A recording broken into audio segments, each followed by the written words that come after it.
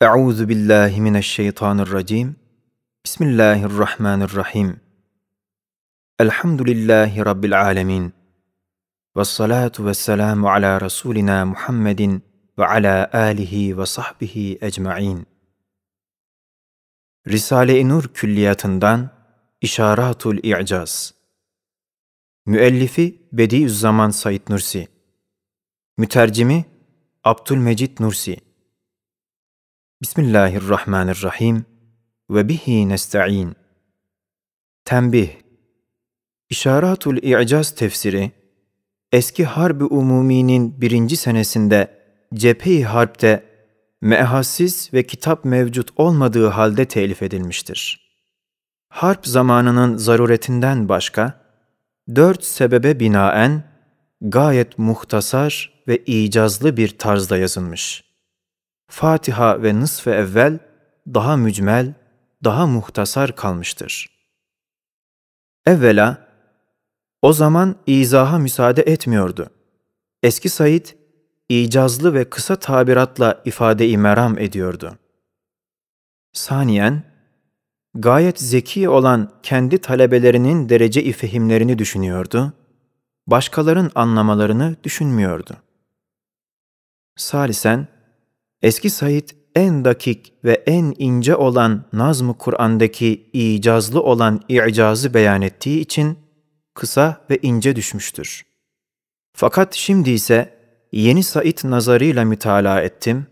Elhak eski Said'in bütün hatiyatıyla beraber şu tefsirdeki tetkikat-ı aliyesi onun bir şaheseridir. Yazıldığı vakit daima şehit olmaya hazırlandığı için halis bir niyetle ve belagatın kanunlarına ve ulûmu arabiyenin düsturlarına tatbik ederek yazdığı için hiçbirini cerh edemedim. Belki Cenab-ı Hak bu eseri ona kefaret-i zünub yapacak ve bu tefsiri de tam anlayacak adamları yetiştirecek inşallah. Eğer birinci harbi umumi gibi maniler olmasaydı, tefsirin şu birinci cildi i'caz vücuhundan olan i'caz-ı nazmiyi beyan ettiği gibi, diğer cüzler ve mektuplar da müteferrik hakaik-ı tefsiriyeyi içine alsaydı, Kur'an-ı Mu'cizül Beyan'a güzel bir tefsiri cami olurdu.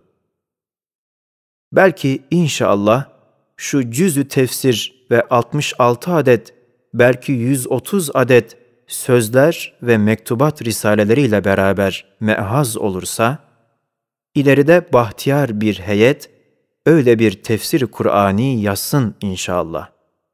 Said Nursi Haşiye Bu harika tefsirde münafıklar hakkında olan 12 ayetle muannit kafirler için olan iki ayetin izahat ve tafsilatının içinde çok münasebat-ı belagatı, çoklar anlamayacak ve istifade etmeyecek ehemmiyetsiz nüktelerinin zikredilmesinin sırrı ve diğer ayetlerdeki tahkike ve izaha muhalif olarak mahiyet-i küfriyenin tafsilatına ve ehli nifakın temessük ettikleri şüphelerine pek az temas edilmesinin hikmeti ve yalnız elfaz-ı Kur'aniyenin ince işaret ve delaletlerinin ehemmiyetle beyan edilmesinin sebebi üç nüktedir.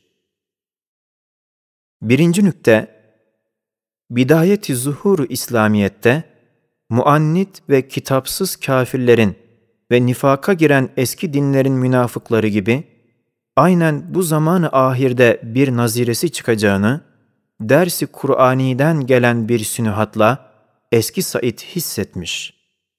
Münafıklar hakkındaki ayetleri izahla en ince nükteleri beyan etmiş fakat mütalacıların zihnini bulandırmamak için mahiyet mesleklerini ve istinat noktalarını mücmel bırakmış, izah etmemiş.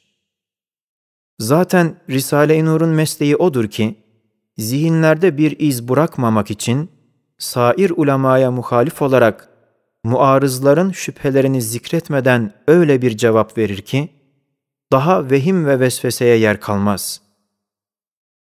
Eski Said bu tefsirde Risale-i Nur gibi zihinleri bulandırmamak için yalnız belagat noktasında lafzın delaletine ve işaratına ehemmiyet vermiş. İkinci nükte, madem Kur'an-ı Hakîm'in her harfinin okunmasıyla öyle bir kıymeti olur ki, bir harf on, yüz, bin ve binler sevabı ve baki meyve-i uhreviyi verecek mahiyettedir. Elbette eski Said'in bu tefsirinde bir saç gibi, bir zerre gibi Kur'an'ın kelimatına temas eden nükteleri izah etmesi, israf değil, ehemmiyetsiz değil. Belki göz kapaklarının kirpikleri ve belki göz bebeğinin zerreleri gibi kıymetli olduğunu hissetmiş ki, o dehşetli harp içinde bu incecik saç gibi münasebetleri yazmaktan ve düşünmekten, avcı hattında düşman gülleleri onu şaşırtmamış, ondan vazgeçirmemiş. Haşiye, acaba böyle bir adam hiç mümkün müdür ki dini siyasete, dünyaya alet etsin? Bu ithamı yapanların ne derece adaletten hariç bir zulüm ettikleri anlaşılır. Nur talebelerinden Zübeyir Bayram Üçüncü nükte, Türkçe'ye tercümesi, Arapçadaki cezalet, belagat ve harika kıymetini muhafaza edememiş. Bazen de muhtasar gitmiş. Onun için münafıklar hakkındaki uzun tafsilatın bir kısmını neşretmemek niyet ettim. Fakat Kur'an'a ait olması cihetiyle, Kur'an'a ait bir zerrenin de kıymeti büyüktür. Belki bazılara da faydası vardır. İnşallah, Arabi tefsir bu tercümenin ahirinde bir mani olmazsa neşredilecek. Tercümedeki noksanlarını izale edecek. Fakat Arabi tefsirde tevafukun envaından çok harikalar vardır, beşer ihtiyarı karışmamıştır. Onun için o matbuun aynı tarzında imkanı varsa, mümkün olduğu kadar çalışmak lazımdır ki, alamet makbuliyet olan o harikalar kaybolmasın. Said Nursi Bismihi Subhaneh 40 sene evvel Harbi Umumi'de, cephede, avcı hattında bazen at üstünde telif edilen bu İşaratul İ'caz tefsirinin bir kısmını üstadımızdan ders aldık. İlmi belagatı ve kavaid-i arabiyeyi bilmediğimiz halde aldığımız dersle bundaki bir sırrı azimi fehmettik ki, bu İşaratul İ'caz tefsiri hakikaten harikadır. Bu tefsir, Kur'an'ın vücuhu i'cazından yalnız nazmındaki i'cazı harika bir tarzda göstermesi münasebetiyle dört noktayı beyan ediyoruz. Birincisi, madem Kur'an kelamullah'tır, umum asırlar üzerinde ve arkasında oturan muhtelif tabaka tabaka olarak dizilmiş bütün nevi beşere hitap ediyor, ders veriyor. Hem bu kainat Halık-ı Zülcelal'inin kelamı olarak rububiyetin en yüksek mertebesinden çıkıp bu binler muhtelif tabaka muhataplarla konuşuyor, umumunun bütün suallerine ve ihtiyaçlarına cevap veriyor, elbette manaları külli ve umumidir. Beşer kelamı gibi mahsus bir zamana, muayyen bir taifeye ve cüz'i bir manaya inhisar etmiyor. Bütün cin ve insin binler muhtelif tabakada olan efkar ve ukul ve kulub ve ervahının her birisine layık gıdaları veriyor, dağıtıyor. İkincisi, kelamı ezeliden gelen ve bütün asırları ve bütün tavaifi nevi beşeri muhatap ittihaz eden Kur'an-ı Hakîm'in gayet külli manalarının cevherlerinin sadefi hükmünde olan lafz-ı Kur'ani elbette küllidir. Yalnız kıraatında her bir harfinin on, yüz, bin ve binler ve eyyam-ı mübarekede otuz bine kadar sevab-ı uhrevi ve meyve-i cennet veren hurufu Kur'aniyenin her birinde mevcudiyeti kat'i olan i'cazın bir kısmını bu tefsirde gördük. Üçüncüsü, bir şeyin hüsün ve cemali o şeyin mecmuunda görünür.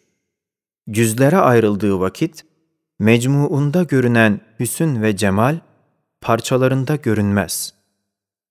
O şeyin umumunda tezahür eden nakış ve güzellik her bir kısmında aranmaz. Görünmediği vakit, görünmemesi onun sebebi kusuru tevehhüm edilmez.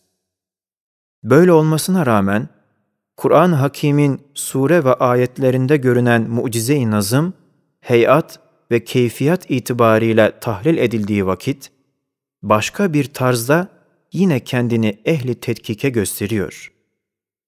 İşte bu İşaratul İ'caz Arabi tefsiri, İ'caz-ı Kur'an'ın yedi menbaından bir menbaı olan nazmındaki cezaleti en ince esrarına kadar beyan ve izhar ediyor.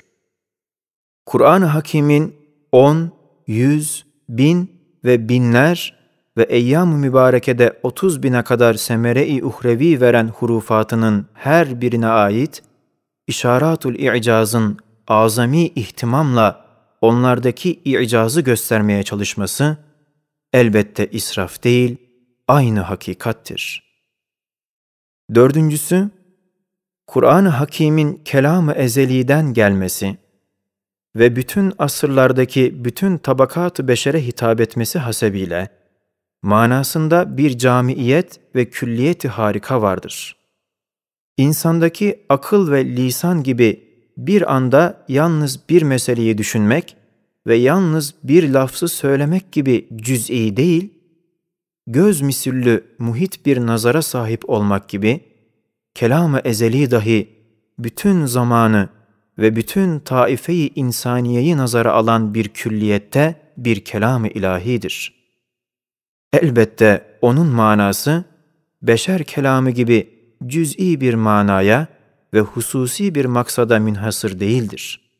Bu sebepten bütün tefsirlerde görünen ve sarahat, işaret, remiz, ima, telvih, telmih gibi tabakalarla müfessirinin beyan ettikleri manalar, kavaid-i arabiyeye ve usulü nahve ve usulü dine muhalif olmamak şartıyla o manalar o kelamdan bizzat murattır, maksuttur. Tahiri, Zübeyir, Sungur, Ziya, Ceylan, Bayram